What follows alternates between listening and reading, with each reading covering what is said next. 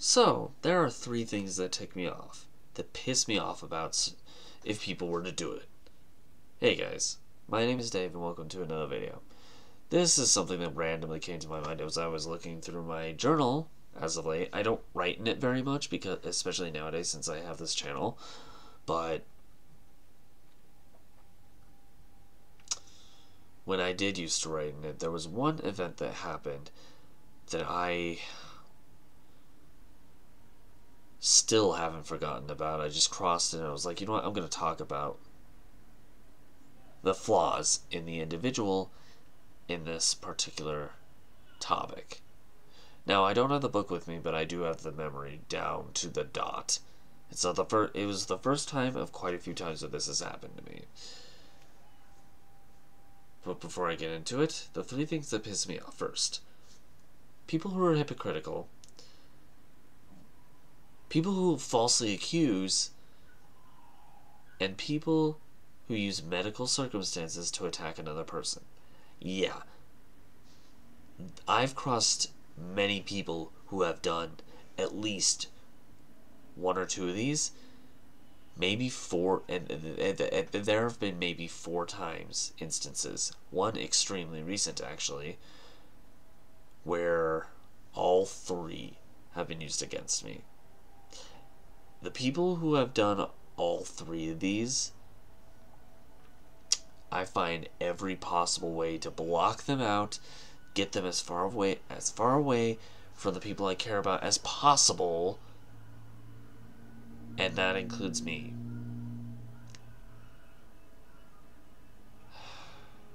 And if they get the time of the one I'm, the example I'm going to give off, the woman who ended eventually ended up being my girlfriend at the time. This was years ago though.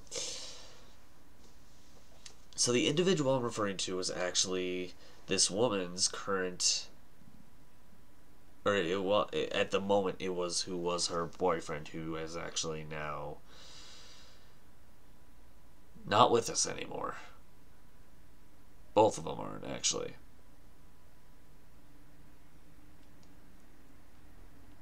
So the girl was struggling.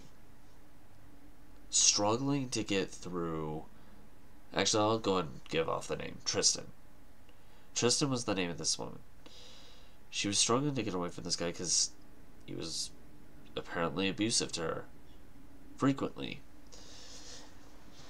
Now, this is a story that I've actually explained about, I, I've experienced with a couple different people. But this one is the one I'm going to give an example off of. I have a couple reasons, plus it's probably the one that, it is the one that I have written in the journal. So anyway, um, the dude, at a point, Tristan went off to take care of a couple things in a car, and that it was just the dude, Ed, and me.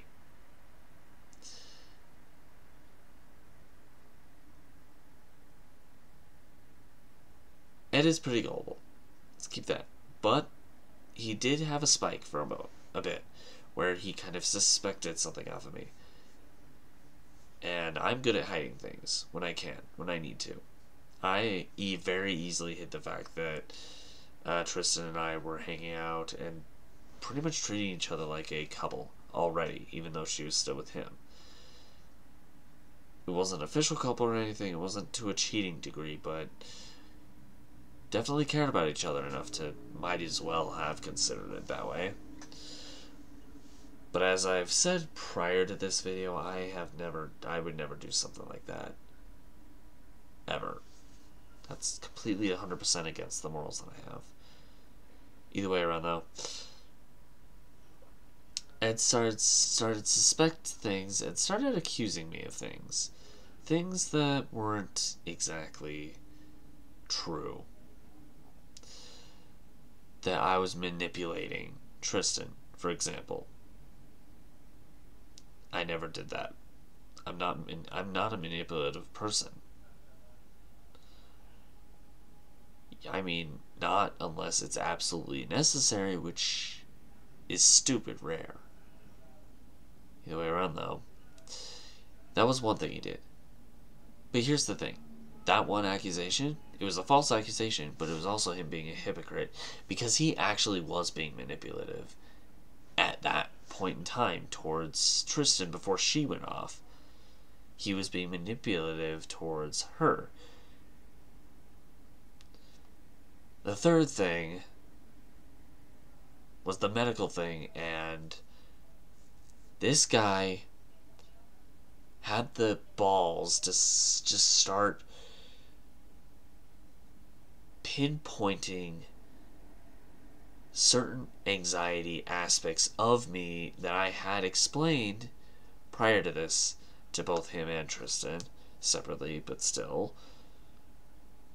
It was to help them get through a certain point in time.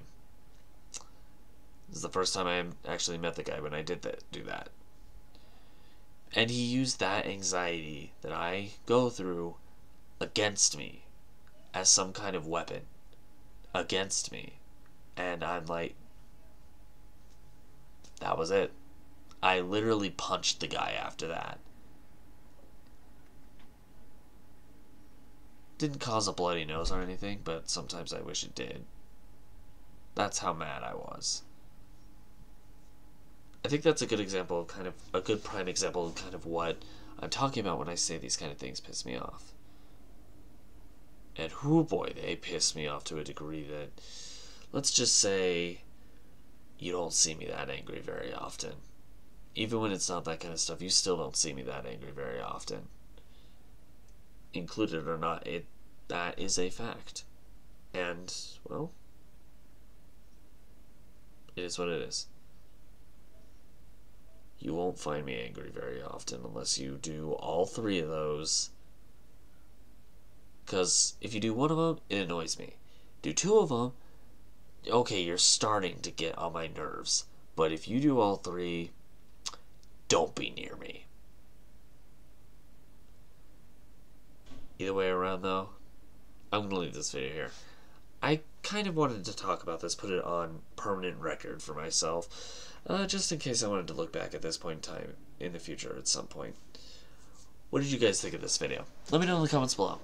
If you want to check out any other uh, About Me videos like this one, um, click the link on this side or discussion rants over here. I don't know if that's the exact spots they're going to be in, but somewhere around there.